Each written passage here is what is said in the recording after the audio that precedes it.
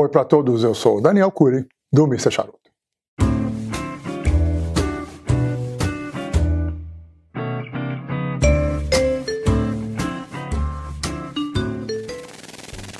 Hoje nós vamos para o terceiro e último vídeo da série Três Charutos em uma Fábrica. No, no, primeiro vídeo eu falei sobre os charutos de custo mais baixo que as empresas produzem, usando os fumos de qualidade mais inferior que eles têm e a função desses charutos na estrutura empresarial das fábricas. No segundo, eu falei sobre as relações comerciais, de colaboração, distribuição e mesmo blending que existe entre diferentes empresas, e também um pouco sobre o mercado de compra e venda de tabaco. Nesse vídeo agora, eu vou falar sobre os premium cigars. E da mesma forma, eu estou usando a Davidoff como a empresa cenário aí para uh, onde eu né, o cenário onde eu falo sobre, sobre os temas de cada vídeo e vou usar novamente um blend da Davidoff nesse vídeo. Eu convido vocês a assistirem os outros dois, os outros dois vídeos, os vídeos passados, para ter uma ideia melhor do todo dessa série, caso ainda não tenha assistido, óbvio. E o charuto que eu escolhi hoje para ser o nosso, ah, que vai nos levar ao conteúdo do vídeo, é este charuto aqui, o Davidoff Yamazá em pirâmide. Ele tem 6 inches e 1 oitavo de comprimento e o ring gauge de 52. É um charuto fabricado em 2016 na República Dominicana, na mesmíssima fábrica que de onde saíram os dois os charutos dos dois vídeos passados, o 3x3 e o Archetype. Só que esse aqui é um Davidoff puro sangue, vamos dizer assim. E é o Premium Cigar. E esse é o tema do nosso vídeo hoje, que o Premium Cigar é o charuto, é o tipo de charuto que é a menina dos olhos de qualquer empresa, de qualquer blender, de qualquer loja para revender e, obviamente, é o nosso charuto preferido. Como fumantes, a gente, se pudesse, se, ou se, se podemos, a gente não, não, não, não abre mão, né? De fumar os melhores charutos possíveis. E sempre os Premium Cigars são os que representam o que a empresa tem de melhor. Esse aqui ele tem binder e wrapper Yamazá dominicano. Esse fumo é um fumo dominicano. E ele tem filler composto por a, a fumos da República Dominicana e da Nicarágua. Ele tem o piloto cubano, que é um dos fumos dominicanos, com as folhas, usando as folhas Viso, o outro fumo cubano, o outro fumo cubano dominicano, que tem nesse aqui é o San Vicente, mas dessa vez eles usam as folhas viso e seco. E tem outros dois fumos da Nicarágua, um de Condega, onde eles usam as, as, folhas seco, e um de Esteli, onde eles repetem o mesmo tipo de folha. Eu vou falar um pouco mais detalhadamente sobre esse filler mais adiante. E então vocês podem ver, de cara já é um, um, um filler muito mais elaborado do que charutos mais comuns, vamos dizer assim. Ele lembra muito o filler do charuto do review passado, que foi um charuto Caldwell, The Last King. Também, se vocês quiserem dar uma olhada lá para comparar depois de assistir esse vídeo, vocês podem fazer um paralelo também, que aquele é um premium cigar também. Então vamos ver esse aqui. Ele tem a primeiro primeira a ponto que eu queria salientar, que às vezes causa um pouco de dúvida aqui, eu não sei aí no Brasil se causa, que é o nome do charuto. Aqui vem escrito Yamasa, se a gente for falar em português, porque não tem um acento no, no, na, no último A. Mas em espanhol, o nome desse, dessa. Porque isso aqui, na verdade, é uma região da República Dominicana. E essa região é chamada de Yamazá. Até que esse som meio japonês dizer, não é Yamasa, é Yamazá. E, mas aqui nos Estados Unidos não ia funcionar um, uh, um nome com acento. O americano ignora essas variações de língua e tudo mais. Então, por uma opção de mercado, eles, eles abandonaram essa ideia do, do, do acento no A e aqui eles falam as coisas mais impossíveis. Eles pronunciam isso aqui das maneiras, da, da, de maneiras variadas. Yameza, Ayameza. E, e aí por aí vai. Tem, tem de tudo, mas oficialmente o nome é Yamazá. E é assim que eu vou tratar uh, na, em espanhol, vamos, vamos dizer assim, tá? Ele tem um rapper muito bonito, um rapper marrom claro, não chega a ser aquele papel de embrulho, mas é um pouco mais amarelo, mais vermelho, muito muito oleoso. Ele não é nem, nem áspero e nem aveludado. Ele tem uma, uma textura neutra, mas ele tem um brilho bonito, vocês podem ver nas fotos. E com essa band vermelha, que tem um, uma, um, um sentido para ela ser vermelha, também eu vou falar sobre isso. E a band negra David Off, são bands impecáveis, um papel maravilhoso e uma impressão também espetacular. Um cheiro bem neutro, assim, de, de rei, e talvez uma doçura de chocolate, alguma coisa assim, mas nada que chame muita atenção. Então, vamos pensar aqui em importá-lo. Como ele é um, um pirâmide, eu vou fazer um corte aqui, não muito profundo, para ver se o, o como que o draw vai ficar. Talvez esteja um pouco apertado, mas eu não vou cortar de novo não. Se for o caso, eu corto durante a fumada para a gente ter uma... Vamos ver como é que ele vai funcionar no início, né? Bom, esse, esse, essa, esse charuto ele faz parte de uma linha de, de charutos lançado pela Davidoff a partir de 2013, chamada de uh, Discovery Pillars, quer dizer, os pilares do descobrimento, do desenvolvimento, alguma coisa nesse sentido. E ele faz ele foi o último a ser lançado, e ele, o primeiro foi o Nicaragua, o segundo o Escurio, que é um charuto que até tem um review dele junto com o Rooms a capa, e é um charuto que o tema é o Brasil. O da Nicarágua, o Nicarágua, o tema é a Nicarágua, claro, né? E esse aqui, o tema é o, a região de Amazon, na República Dominicana. E essa linha Discovery Pillars foi desenvolvida numa a busca da, da Davidoff de alcançar, um, melhorar as vendas no mercado americano, produzindo uma linha de charutos com mais sabor, um body mais alto. E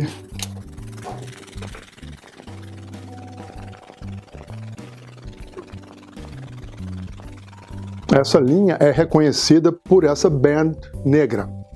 Todos os três têm a band negra e uma, uma band secundária com cores que, que variam. O Nicarágua é laranja, o Escúrio é meio prato, prateada, cinza, alguma coisa assim, e o Amazá, esse vermelho vivo, quase um cor de vinho, assim.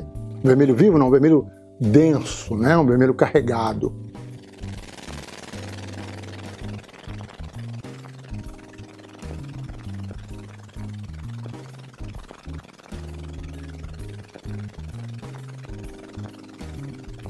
Acho que o corte foi em cima. Não há necessidade de cortá-lo de novo, não. A não ser que haja um problema de, de performance dele, mas acredito que não. Apesar do escuro, eu lembro que eu tive um problema de performance. E ele também, ele era, acho que era um, double perfecto. Agora esse aqui, um torpedo, né? Vai, que não vai ter nada, nem, nenhum problema, não.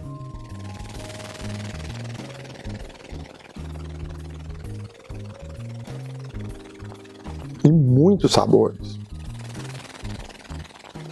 Bom, é uma fumaça, não é uma fumaça ah, cremosa, mas não é agressiva, apesar de ter um pouquinho de pimenta. O que me está me chamando a atenção é algo cítrico, algo vegetal, bem vivo, bem. Ah, ah, é cítrico mesmo, acho que é a palavra. Laranja, talvez. Laranja, limão muito, muito presente. Isso com, e um fundo de terra com madeira, mas uma terra molhada, não é aquela terra que seca a boca, pesada, não. Tudo é muito vivo, tudo é muito. parece que tem um frescor muito grande no, no, no, nos sabores. Mas o cítrico é que chama atenção.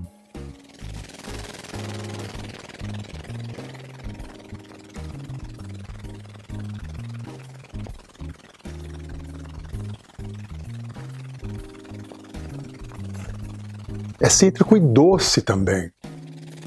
Cítrico, doce, essa terra e madeira. E não é pimenta, eu falei pimenta, mas não é, não, não, não tem pimenta. Deixa eu só dar um, um retro-rail aqui e a gente verifica essa pimenta.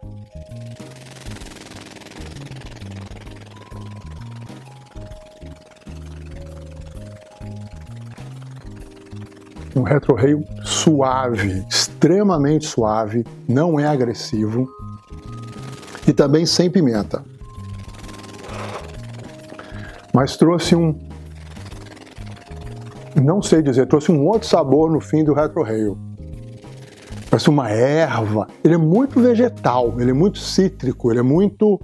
Ah, ele está sendo rico nesse, nesse, nesse lado aí do, do, dos sabores. E muito na ponta da língua também. Tudo acontecendo bem na ponta da língua. Bom, vamos fumar, deixar eu avançar um pouco mais e eu volto. Tem um monte de informação para falar hoje. Até já.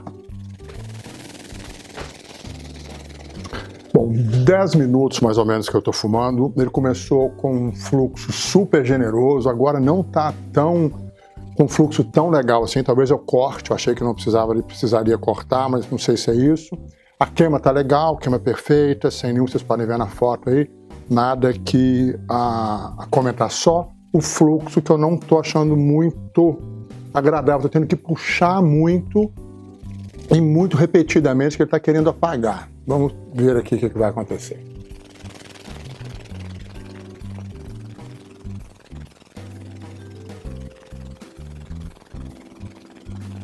É, ele está tá com alguma queima aqui, alguma coisa, está começando a ficar irregular aqui. Vamos ver o que, que vai acontecer.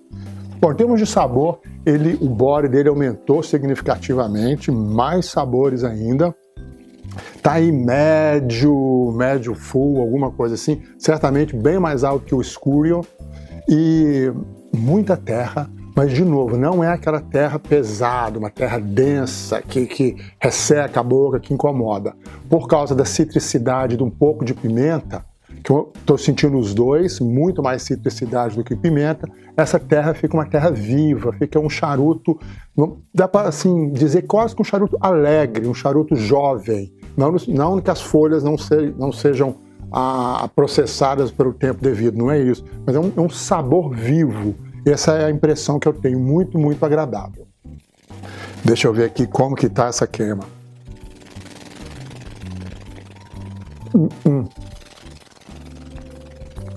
Não tá legal, vamos tentar reacendê-lo aqui. Não, tá.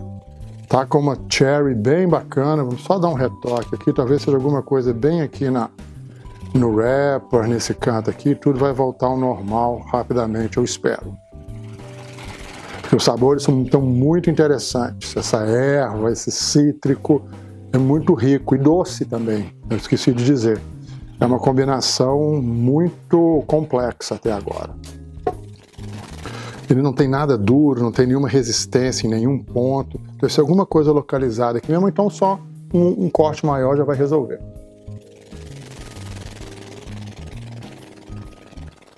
Bom, vamos deixar aqui, vamos ver o que ele vai. Vamos falar de a Yamazá. Yamazá é uma região na República Dominicana, mais no centro do país, ao norte da capital. E é uma região pantanosa e aonde era a, uma região reconhecida como uma área onde não se produz fumo. Não é uma área propícia para isso. O, uh, o Kellner, né, o Hank, o Hendrik Kellner da, da, da Davidoff, que é o Master Blender, decidiu empreitar ali uma, uma, um trabalho para poder tornar aquela área produtiva, porque ele sabia que aquela terra era uma terra diferente das outras regiões da República Dominicana. E ele teve uma visão, uma vision, né? ele, ele projetou que ali ele poderia ter fumos diferentes e isso seria um diferencial para um determinado blend, para alguma coisa que ele, um projeto qualquer que ele quisesse desenvolver. Então ele iniciou ali um teste, um processo de teste que envolveu mais de 30 sementes diferentes de charuto e no final das contas eles chegaram a três que se adequaram àquela região e ao processo deles estão sendo usadas hoje na produção dos fumos Yamasa.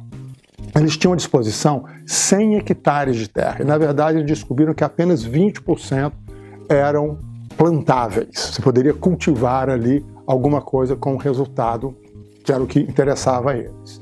E um dos ah, ah, segredos de encontrar esses nichos de solo que seriam adequados foi a fertilização. Eles fertilizam cada pé de tabaco individualmente. Não é uma fertilização igual uma lavoura, que, sei lá, um trator, um avião, alguma coisa assim. Eles são, os, os funcionários vão com a mão e fertilizam cada muda, cada pé de tabaco para poder dar os nutrientes necessários para a planta, necessários para aquelas plantas. Eles também fazem o transplante dessas plantas, elas crescem até um determinado período nesse solo, depois são transplantadas para aquele outro solo, porque são solos diferentes, com nutrientes, com pH diferente, eles alteram o pH da, da terra para gerar os sabores, os sabores que interessam a eles. Eles também usam todos esses, a, além desses recursos, eles usam também a armazenagem, o recurso de armazenar as folhas colhidas em ambientes climatizados, com controle rigoroso de umidade e de temperatura. E o que mais me impressionou nisso foi que para chegar para chegar a esse formato, para achar todas as soluções e fazer com que elas trabalhassem juntas, gerando os fumos que eles gostariam de produzir, os sabores que eles buscavam, eles levaram exatamente 20 anos fazendo isso. Quer dizer que é um projeto, é um investimento, é um estudo, é uma capacitação esplêndida.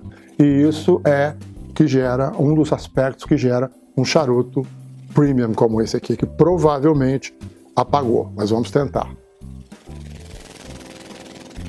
Hum.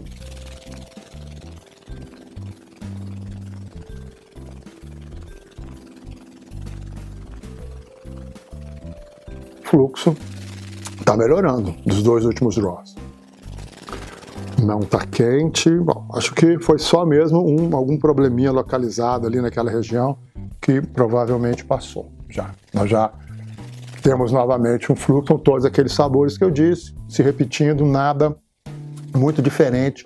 Só em termos da fumaça, a fumaça continua ainda, ela não é cremosa, mas ela está um pouco mais com mais textura, ela não está agressiva, ela só ficou um pouco mais presente à medida que o body aumentou também. O que, que caracteriza um cigarro como premium? É uma combinação de matéria-prima de alta qualidade e mão de obra qualificada.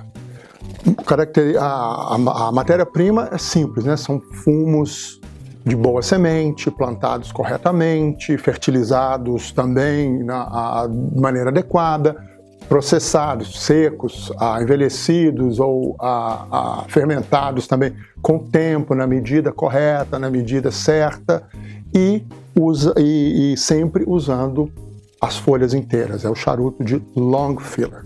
Em termos da mão de obra, é o uso dos funcionários e das funcionárias mais experientes, mais capacitadas, que são capazes de enrolar com consistência perfeitamente. Essa, esse que é o grande segredo, né? que o charuto tenha uma performance retocável, já que o consumidor desse charuto está pagando mais do que o consumidor dos charutos normais, ou charutos que não tem uma, uma, uma matéria-prima tão a primeira linha como o dos premium cigars. Há também na indústria uma, uma discussão aí se o charuto mixed filler ou Cuban uh, sandwich seria um premium ou não. Alguns dizem que sim, porque eles podem levar a mesma matéria-prima dos premium cigarros, só que em tamanho, folhas com tamanhos menores. Então os sabores seriam os mesmos e a performance seria semelhante, desde que a mão de obra seja uma mão de obra pelo menos legal, pelo menos ok, e não uma mão de obra iniciante no enrolamento desses charutos a mixed filler. Tem gente que diz que não, que tem que ser long filler. Para mim, sinceramente, não faz a menor diferença, desde que tenha sabor, desde que seja um charuto com uma performance aceitável, que tenha belos sabores. Seria um premium cigars, sem dúvida nenhuma. O fato de ter esse ou aquele não vai variar muito, mas certamente isso faz diferença no preço final do charuto. Os lojistas aceitam mais facilmente o, o, o mixed filler sendo premium para impulsionar a venda dos charutos, já que eles têm um preço mais barato. Então é aí uma, uma, uma opção da indústria, a opção de quem está vendendo, produzindo charutos, tanto faz. Para a gente é ótimo que tem as duas opções, né? E também tem um outro critério, um outro dado aí nessa a definição do premium, que às vezes as pessoas confundem, que é o charuto short filler. ou o charuto feito em máquina, normalmente as duas coisas acontecem ao mesmo tempo, esses definitivamente não são premium cigars. Mas existe na indústria de premium cigars, long filler cigars, uma máquina de mesa que ela auxilia o enrolador a ter mais precisão, ter mais consistência no trabalho dele. Eu vou colocar um clipe aqui agora e vocês vão ver como que essa, em que momento essa, essa máquina é usada e ela é mais do que aceita pela indústria. A, a, o uso dela é mais do que aceito pela indústria para se caracterizar um charuto premium. E esse clipe é de, uma, de um processo de enrolamento dentro da fábrica da Davidoff. Vamos dar uma olhada nesse clipe. Aqui a gente vê um enrolador montando o bunch, as folhas do filler. Ele corta as aparas e recoloca essas aparas dentro do, do filler para posicioná-las de acordo. Em cima da máquina a gente vê a folha do binder, aí ele movimenta para cima essa máquina, né? esse couro plástico, não sei exatamente o que é, e a gente tem o resultado final, o binder envolvendo o filler. É colado, aí ele vai aparar o charuto para o tamanho desejado e eliminando essas extremidades, ele coloca dentro do molde essa máquina, então, só a, a, reafirmando, ela é mais do que aceita no uso, na fabricação dos charutos a premium cigars. Vamos lá. Então, eu quero dar para vocês alguns exemplos de outras fábricas, que, como eu disse, a Davidoff é uma, uma, uma fábrica que eu estou usando como referência. Tudo que eu estou dizendo a respeito da Davidoff se aplica às outras grandes fábricas e até algumas fábricas menores também, medidas as proporções de cada empresa. Então, por exemplo, alguns outros charutos reconhecidamente premium cigar, mas premium mesmo, super premium cigar. A Davidoff, por exemplo, tem uma série chamada Oro Blanco, que uma caixa de 10 charutos custa 5 mil dólares. Eles normalmente não estão à venda, eles aparecem de vez em quando, uma série super especial, mas só para dar para vocês uma noção aí do, do mercado, né? do extremo do mercado, da borda do mercado. A Davidoff também tem séries muito mais uh, acessíveis, aí, com algumas centenas de dólares a caixa de 10, tipo uh, vários do, da série Churchill, da Royal Release, da New York City, são alguns charutos feitos para as lojas de, de, de Nova York, e algumas outras, algumas edições especiais relacionadas à culinária. Eles uh, relançam a blends que dos anos, uh, início dos anos 2000, anos 90, são charutos, são edições especiais. O Churchill não, o New York City não. Eles são de produção constante, mas são super premium cigars também. A Ashton tem a linha Symmetry, que também é de produção regular, são charutos ultra premium. Tem os, os Fuentes Opus X, também são outros bem uh, uh, uh, que levam rótulo sem menor dúvida de premium, ultra premium cigars, e tem os incomparáveis padrões, que são extremamente premium cigars. Tem a série 1926, 1964, a Family Reserve com 45 anos, 80 anos e algumas outras tiragens também, sempre charutos de produção regular. Não estou falando das séries ah, ah, especiais, não. São sempre, todo ano, toda safra, esses charutos são fabricados e são charutos extremamente ah, sofisticados, requintados e de preço bem elevado também.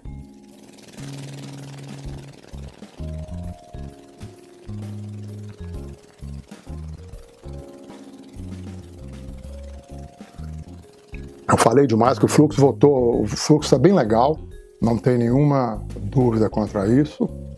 Ele está quase apagando aqui. Deixa eu só dar um double puff aqui para reavivá-lo.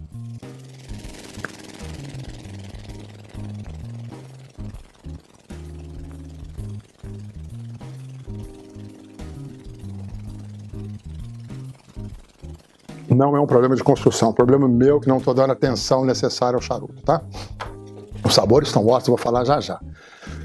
Eu disse desses, desses ah, charutos de preço muito alto, mas são charutos de um preço que é equilibrado entre as marcas. Eles têm ali mais ou menos a mesma faixa de preço. Mas tem algumas marcas, ah, na verdade não algumas, tem uma em especial que colocam no mercado charutos de preços astronômicos. Tá? E aí entra uma, uma eu acho que é, uma, é mais uma, um marketing da empresa, é mais uma tentativa de convencimento de que os produtos dela são produtos acima de, de, de, de, de todos os padrões. Tá? Não de todos os padrões, mas dos padrões mesmo, está tá acima do, do, do, nível das outras. E adicionam alguns a, a elementos, tipo bebidas, um lacre de ouro. O pessoal lança mão de, dos recursos mais variados possíveis para se imporem, para terem um marketing mais agressivo, para tentar rotular os seus charutos como um produto de extrema qualidade, de extremo requinte, sendo que, na verdade, eu entendo isso como uma tentativa de convencimento ah, sobre os, os ah, ah, fumantes menos informados, menos cultos da, da indústria, sobre o que, que é realmente um bom charuto, o que, que é um bom fumo, uma boa mão de obra, e, na verdade, estão procurando vender as linhas básicas, que são as linhas que têm um preço que o mercado assimila. Esses valores astronômicos, eles não têm mercado, ou um mercado que justifique tamanha produção e tamanha, a, a tamanho alarde so, sobre esses charutos. Então é uma, me parece mais uma preocupação com a com essa rotulação, é mais uma preocupação de, se, de contar vantagem, alguma coisa nesse sentido, do que uma preocupação com a qualidade mesmo, tá? Esses eu não coloco aí dentro dessa ideia do premium cigar que eu estou falando com vocês e que a Davidoff aqui no caso representa muito bem, junto com as outras que eu citei, através do, do desse charuto Yamasa com todo esse fumo Yamazá, desculpa, com todos esses fumos tão bem ah, ah, elaborados, preparados, todo esse, esse empenho do Kellner e da sua equipe em, em produzir um blend com, a, com essa qualidade extrema.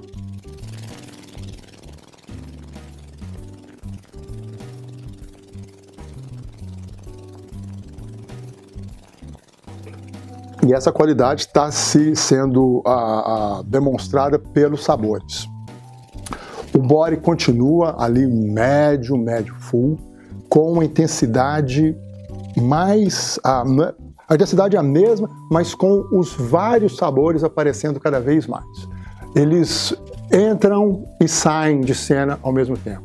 Agora eu estou sentindo ele um pouco mais salgado, um pouco mais mineral, quase metálico, um, que vem junto com a doçura e com a terra. E o finish, depois do retro rail principalmente, é mais amadeirado e muito longo não existe nenhuma secura, existe uma, a, uma um, ele, a condução desses sabores por uma, como se tivesse um fio condutor que seria a terra. E a, a, doçura, o salgado, a citricidade, a madeira no final, eles entram e saem, eles se acomodam ali dentro dessa linha de terra. É muito complexo, muito saboroso e muito confortável de se fumar. A fumaça dentro da boca, ela é, ela tem presença, ela não é cremosa, mas ela não é agressiva. Então é uma combinação muito requintada e muito, muito complexa. Bom, aqui já está na hora de tirar a primeira band, quero tirar ela com vocês. Acredito que vai ser uma das bands mais fáceis de tirar, mas vamos lá, vamos ver. O fluxo está perfeito, sem problema nenhum. Vocês viram aqui a quantidade de fumaça, fumaça generosa. E o finish está cada vez. Só falar que não ia ter problema nenhum, a Bento está rasgando. Bom, deixa eu puxá-la aqui. Não, ok, foi só, acho que alguma mancada que eu dei. Sem problema nenhum no, no wrapper. E a band vermelha, um vermelho bonito, com duas estrelas aqui escuras. Eu vou até tirar uma foto, mesmo ela tendo rasgado, para vocês verem. Ficou bem legal. E, mas o, o, o finish dele tá um pouco diferente agora, tá um finish mais rico ainda. Não só madeira, mas ele tá com um pouco de couro e vem, vamos dizer, no final do finish vem também um sabor vegetal de novo, vem aquele um pouco uma acidez, a laranja no final do finish. Então tá muito, muito ah, complexo, um charuto que a gente entende facilmente o que, que é um charuto premium quando a gente fuma esse, esse aqui.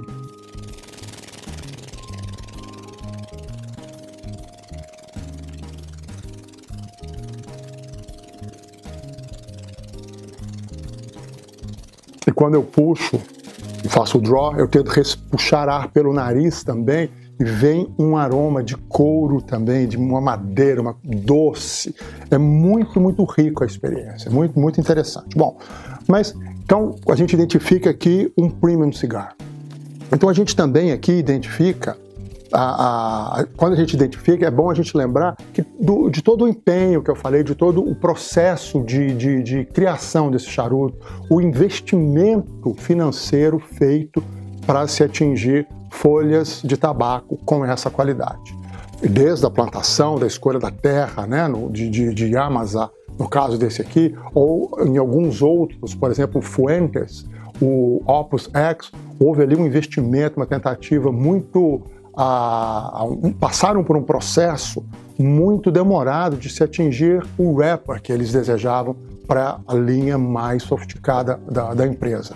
Então, a Padron também, com todos os seus fumos, a Águia Norsa passa pelo mesmo processo, todos os plantadores mais, a, os produtores, né, mais qualificados e mais preocupados com isso também passam por todo esse processo de, de criar novas sementes, novos métodos agrícolas e de fermentação para se chegar num produto final de altíssima qualidade, que são as folhas, às vezes, de wrapper ou de filler, qualquer a, função que essas folhas tenham. E essas folhas a gente a, sabe que elas são plantadas para serem, para terem uma determinada função dentro do blend.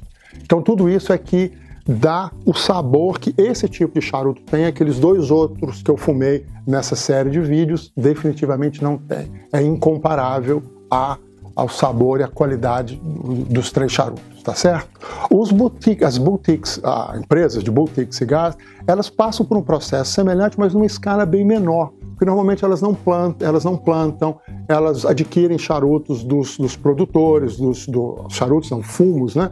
Dos produtores ou dos brokers, né, dos corretores de charutos. Então, de uma forma, de uma forma própria, elas passam por um processo semelhante, mas numa escala muito menor de tempo, de valores, de investimentos e de, de tudo mais. Só que com um produto final boutique, que é um premium cigar também. A qualidade está ali, as grandes, a, a, os grandes, as grandes experiências que a gente consegue a, através do fumo a, a, do ato de fumar um charuto da Caldwell, da Illusiones e, e de outras da Warped e tal, é semelhante a o, o Premium Cigar da David the Padron, do Fuentes e Ashton, etc, etc.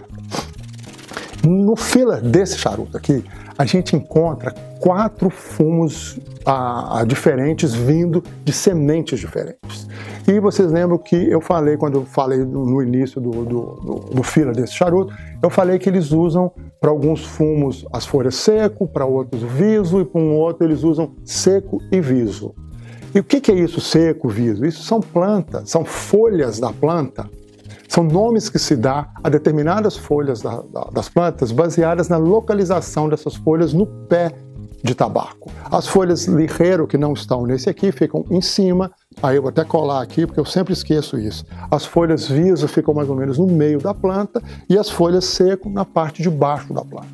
E essa posição das folhas no, no pé de tabaco, elas determinam algumas características das folhas, como por exemplo, espessura, habilidade de queimar ou não, intensidade dos sabores, intensidade de, de nicotina, e principalmente elas indicam qual a função da folha no blend e às vezes até a posição dela em relação às outras folhas do filler.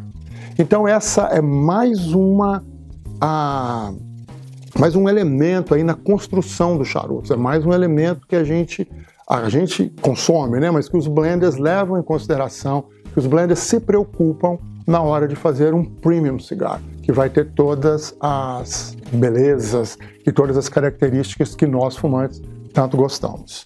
Vamos ver se, eu, se ele apagou mais uma vez ou não.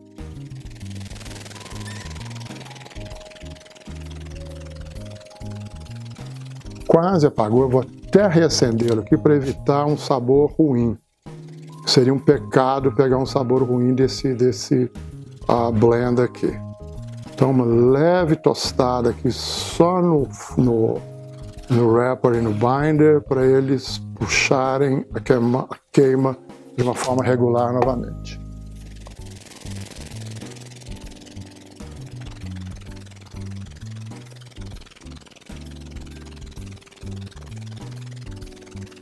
Ele é um charuto que precisa de atenção. Não dá para deixar ele um, dois minutos descansando no, no cinzeiro que ele vai apagar. É, sabor o mesmo, aquela riqueza toda de sal, doce, cítrico, e o lábio tá doce, que é do wrapper, né? que é a única, a única folha que está em contato com o meu lábio.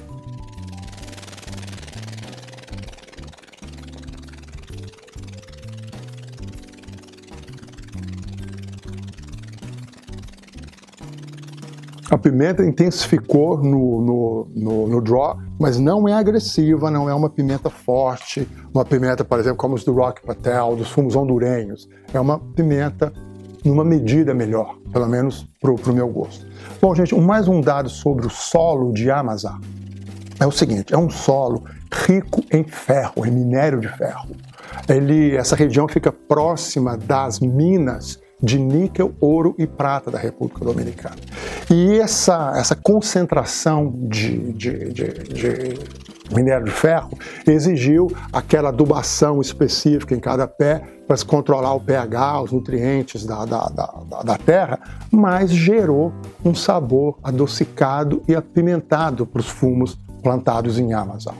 E também gerou a cor vermelha desta banda aqui que a, o meu minha herança mineira, eu posso falar de, de, de, com bastante propriedade sobre isso, principalmente se quem é o pessoal que é de Belo Horizonte ou então ali do quadrilátero ferrífero de, Minas Gerais vai saber exatamente o que eu estou falando. Ali a terra é super ferrosa, não é uma terra legal para plantação, mas é uma terra onde se explora o minério de ferro. Várias minas por lá, um monte de desastre ambiental por lá e tudo mas a poeira de lá, a terra, a lama é laranja, é a cor da ferrugem.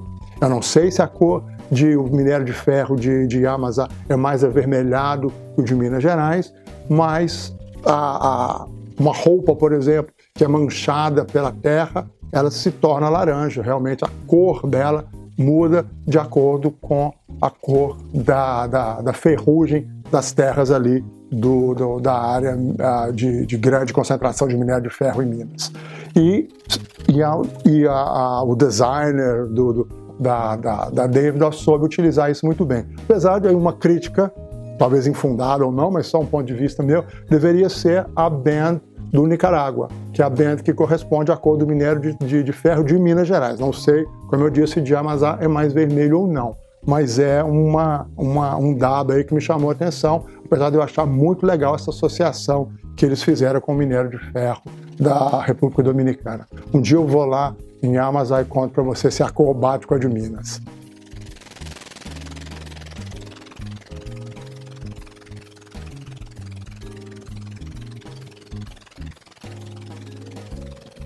Então, essa, o fumo de Amazon tem esse sabor a mais doce e apimentado, e certamente a combinação com os fumos da Nicarágua, de Condega e Esteli, traz outros sabores para esse blend. Talvez esse sabor mais de minério, ou, não, acho que eu estou falando bobagem, né? o de minério certamente está vindo de, de que ali está próximo de, de, minas de alguns minérios, mas talvez o salgado esteja vindo, a pimenta tá, esteja vindo também da, da, da do, do, dos, dos sumos da, da, da Nicarágua e a, o, a madeira, talvez, ou o bore mais alto, a pimenta, não sei. Tem aí certamente a combinação desses fumos de diferentes origens está trazendo mais complexidade para o blend. Bom, a gente está aqui falando de vários aspectos do premium cigar, como que ele feito, todo esse processo que a Davidoff, que é o nosso exemplo aqui, teve que passar e teve que gerir para chegar no, no, no, no, resultado de um blend tão complexo assim. Então eu fiquei pensando o que, que, eu, o que mais que eu poderia levar de informação a respeito dos premium cigars. E o mais interessante que eu, que eu pude pensar foi, ah, se fosse possível, mostrar a fabricação do, do, do, cigarro. Existem vários vídeos aí no YouTube, se vocês procurarem, de pessoas enrolando charutos de diversas, em diversas fábricas, diversas marcas e tudo. Infelizmente, eu não tenho, não, não, não sabe nem se eu quisesse, teria que ir para outro país e tudo, principalmente nessa época do ano, os custos, etc. e tal. Então nada, nada ah, seria muito viável nesse ponto de mostrar a fabricação de um premium cigarro. Então eu vim, eu, eu, ah, me surgiu a ideia de mostrar este blend por dentro. E é isso que eu quero fazer agora com vocês. Eu vou ah, dar uma rearranjada aqui na, na, na estrutura do, do, da minha área de filmagem aqui, de gravação, para a gente conhecer um Yamazá por dentro. Vamos ver se a gente consegue identificar ali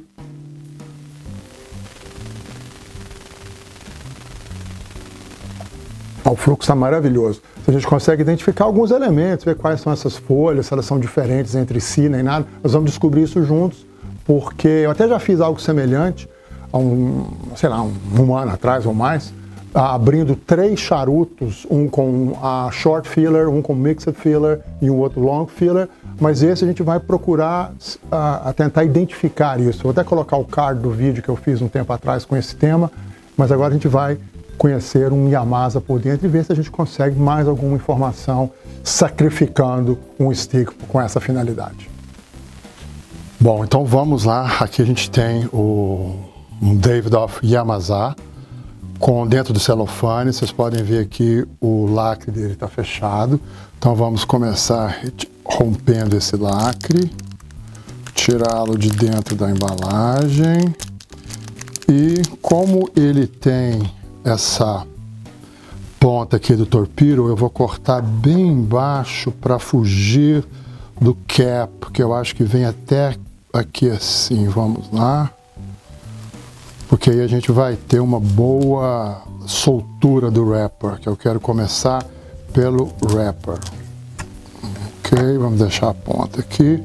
Bom, vamos tirar também a band, as bands, né? Uma, ah, eu não tirei, eu não mostrei eu tirando a segunda band uh, no vídeo, na parte regular do vídeo, mas não houve nenhum problema não, ela saiu super fácil. Aqui eu estou menos cuidadoso, vamos limpar a área. Ok, então vamos lá, vamos tentar soltar o wrapper aqui primeiro, aqui ele está desenrolando facilmente.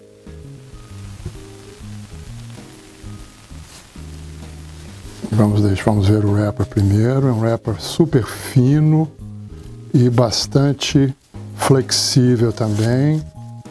Olha que bela folha, a cor, nenhuma nervura, quase nada de. Ah, tá rolando aqui. Deixa eu colocar aí, ok, agora dá para vocês verem.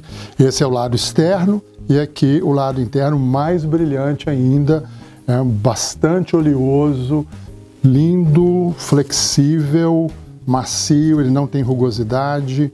Parece que o lado de dentro é um pouco mais áspero que o lado de fora, mas nada que chame muito a atenção, de, de faça muita diferença. Vou colocar de lado aqui.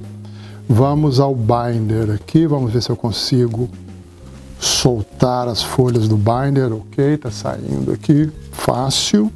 O binder também é um binder Yamasa. Aqui uma parte dele e uma outra parte. Não, aqui já é o filler já. É, deixa eu ver. É, aqui já é tudo filler. Então vamos ver o binder. Já apresenta, tá vendo, alguns furos, algumas irregularidades. É uma folha sem o brilho da folha do, do wrapper. E é difícil dizer que, que é a mesma folha, que ela está até em duas partes, ó, duas folhas, na verdade, compondo o binder, duas, dois pedaços, né, duas partes da folha. Bem mais rugosa, com acabamento bem mais rústico, mas numa cor muito semelhante à cor do, a, do wrapper. A gente pode ver as duas aqui lado a lado. Essa é o wrapper e esta de cá, a do binder. Bem similares em termos de cor, mas em aparência bem diferentes. Está fazendo uma enorme sujeira aqui, mas tudo bem, vamos colocar o wrapper separado do binder do lado de cá. Agora vamos ver o filler, o que, que a gente tem aqui dentro. Bom, tem alguns pedaços, vocês estão vendo? Não é nada de fumo picado, nada disso. São folhas, partes das folhas. E aqui o bunch completo. Olha lá. Vocês podem ver, deixa eu tentar abri-lo aqui, a gente vê exatamente o que ele tem por dentro. Tem o centro, as folhas do, do centro estão aqui, e aqui as partes mais externas, olha.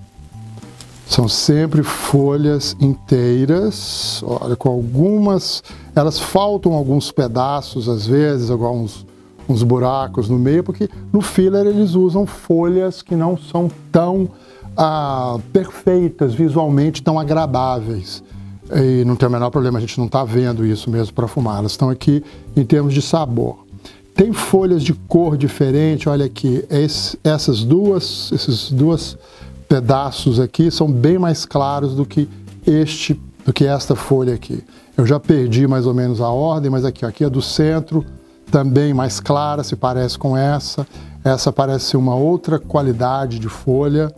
Aqui também, talvez uma terceira. E a gente vê que ela tem dentro pedaços que caem. Mas isso são partes que se soltaram aqui durante o enrolamento do charuto. Mesma coisa aqui, Aqui uma outra folha de cor diferente, vocês podem ver aqui a diferença dessa aqui para essa aqui. Estão vendo essas aqui que estão mais viradas para cá são mais escuras do que esta que eu estou segurando aqui. Olha aqui lado a lado, como que elas têm cores diferentes. Certamente uma é Condega, a outra é Esteli, algumas devem ser Piloto, outras são São Vicente. Não dá para dizer qual o nome de qual. Olha essa aqui que diferença que ela tem. Ela tem umas manchas meio amareladas, meio laranjas. Vamos até tentar tirá-las aqui. Não, não saem. Estão bem ah, presas à folha. Então a gente vê aqui todo o filler dele, aqui um pedaço com uma nervura bem grande. Olha aqui. Opa, deixa eu colocar mais embaixo que deve estar fora de foco. Estão vendo aqui? Isso é uma nervura que veio aqui dentro nada de errado, não tem nada de baixa qualidade, nada que deponha contra. O que mais me chamou a atenção realmente foi diferentes cores que identificam os diferentes fumos, certamente. Então aqui a gente tem o filler todo em... Deixa eu tirar esses pedaços daqui para a gente visualizar os conjuntos mais fácil. Aqui a gente tem o filler, aqui as duas folhas do binder, e aqui o wrapper. E todos aqueles farelinhos que eu tirei são ah, produtos aí do enrolamento. Vou tirar, tirar essa parte aqui do filler para ficar visualmente mais organizado aqui os três grupos. Binder, filler e wrapper. Então tá aqui o Yamazá visto por dentro. Não é tão bonito quanto visto por fora, mas é uma. A gente pelo menos conhece um premium cigar uh, por dentro e ver que ele, se vocês compararem com o outro vídeo que eu coloquei, o card, uh, uns minutos atrás aqui nesse vídeo, vocês vão poder ter uma bela uh, termo de comparação entre esses diferentes produtos da, da, da, das empresas em termos de nível aí de qualidade. Bom, eu já estou aqui no terceiro terço do charuto. Fluxo super legal. Agora aqui parece que ele está queimando um pouquinho torto, mas não acredito que seja nenhum problema. O body aumentou um pouco mais, já é quase full, mas não chega a ser full. A pimenta continua bem alta também, os sabores continuam mais ou menos aqueles mesmos, indo e vindo.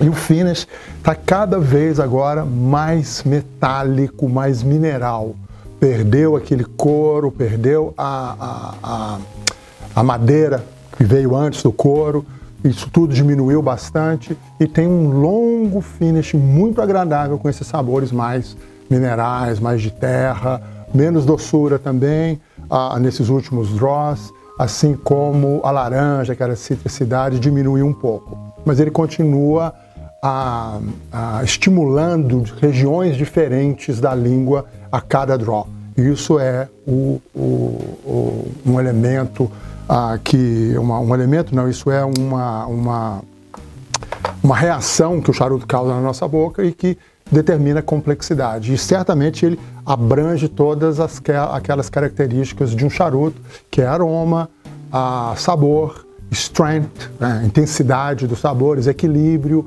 o balanço, o, a complexidade, equilíbrio e balanço é a mesma coisa, né? A complexidade e o finish. Ele domina muito bem esses elementos, esse blend, ele explora muito bem esses seis elementos que compõem um blend de sucesso, um blend da maneira que ele tem que ser. São seis elementos primordiais de qualquer charuto. Esse aqui dá um show em cada um deles. É muito, muito interessante. Então eu acho que ficou uma visão aí ampla dos, do, do, dos, dos, três, os três charutos que eu fumei, mostrando bem algumas características de, de, de diferentes características das empresas baseadas em diferentes charutos, né? E eu acho que esse processo todo de, de, de produção e de envolvimento, de relação das fábricas entre si, com os, com os fornecedores e até com o mercado, ele foi se tornando mais sofisticado, mais elaborado a partir do boom de charutos que teve aqui nos Estados Unidos no final dos anos 90. E ele vem progredindo, ele vem cada vez ficando cada vez maior, mais consumo, mais qualidade, mais opções, e isso é maravilhoso para o fumante, porque a gente consegue fumar charutos cada vez mais interessantes e achar nichos de produtores que ah, fazem o que a gente procura. Cada grupo de pessoas aí tem suas afinidades e cada fábrica tem algo a oferecer, ou ela procura esses grupos de, de fumantes, esses nichos de mercado. Então as coisas vão se casando ali, vão se encaixando e sempre num crescendo. Eu não sei quando que vai ah, que isso vai parar, se, vai, se a gente já está perto do teto, se não está, qual que é a linha aí desse gráfico. Mas e também não tenho ideia quando que ah, se ela vai retroceder, quem que vai ficar no mercado, quem que não vai ficar, o que, que vai acontecer aí, que aí entram todas as variáveis né, de economia, de produção, de clima, uma série de coisas. Mas, de novo, o que eu acho que é o mais legal para a gente é ter inúmeras opções e a gente difícil você não achar um charuto que você vai gostar muito, né? Porque eles oferecem de tudo hoje em dia e cada vez com mais a, a qualidade e com mais variedade.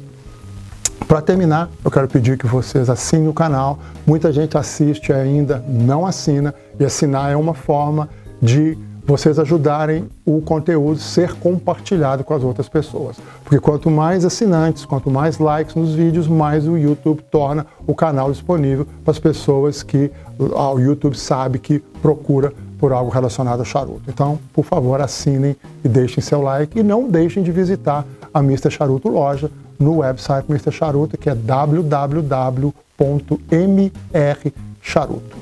Ok? Gente, até a semana que vem. Eu espero que até lá, depois desse belo Yamazá, vocês fumem muito bem. Tchau, até a próxima.